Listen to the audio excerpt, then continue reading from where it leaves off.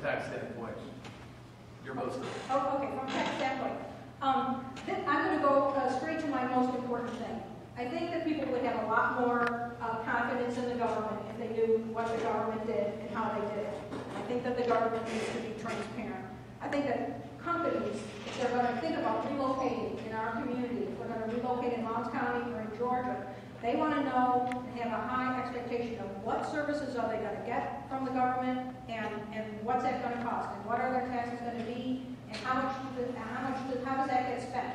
And right now, it's a mystery. I, I think of myself as a really well-informed citizen, and I don't know really how the money is spent. I have a vague idea, um, but I don't really know. And I think that having that information available to people to say, this much of your tax dollars goes to support the 911 center. Uh, today at the county commission, they honored a fellow who had worked 20 years at the 911 center.